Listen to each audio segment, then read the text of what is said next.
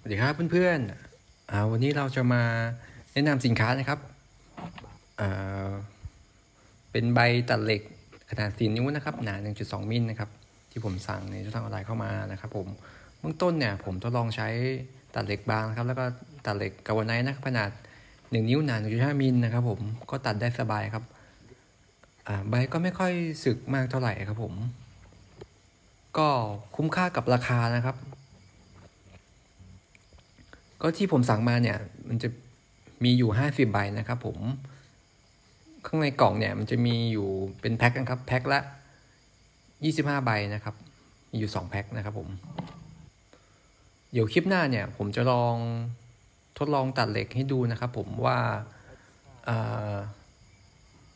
ใบเนี่ยมันจะสึกไวแค่ไหนนะครับผมแต่เบื้องต้นเนี่ยที่ผมลองใช้เนี่ย มันก็ค่อนข้างโอเคครับ ก็คุ้มค่ากับราคาอยู่นะครับ ผมราคาก็ไม่แพงมากนะครับ